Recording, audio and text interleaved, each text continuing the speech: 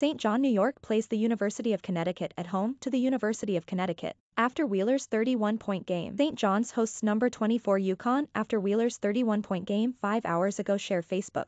Twitter Reddit link UConn Huskies at St. John's Red Storm. New York, Sunday, 12 p.m. Eastern Standard Time. Line, St. John's minus 3.5, over, under is 150.5. Bottom line, St. John's hosts the number 24 UConn Huskies after Aaron Wheeler scored 31 points in St. John's. S 75-69 loss to the Villanova Wildcats. The Red Storm have gone 10 to 5 at home. St. John's is second in the Big East scoring 76.0 points while shooting 44.9% from the field. The Huskies are 7 to 5 in conference games. UConn ranks third in the Big East with 14.4 assists per game led by R.J. Cole averaging 4.4. The teams meet for the 17th time in conference play this season. The Huskies won 86 to 78 in the last matchup on January 13. Adama Sanogo led the Huskies with 26 points, and Julian Champagnie led the Red Storm with 27 points. Top performers, Champagnie is averaging 18.5 points, 6.6 rebounds, and 1.8 steals for the Red Storm. Wheeler is averaging 9.8 points over the last 10 games for St. John. Andre Jackson is averaging 7 points and 7.3 rebounds for the Huskies. Cole is averaging 10.2 points over the last 10 games for UConn. Last 10 games, Red Storm, 4 to 6, averaging 75.2 points, 35.4 rebounds.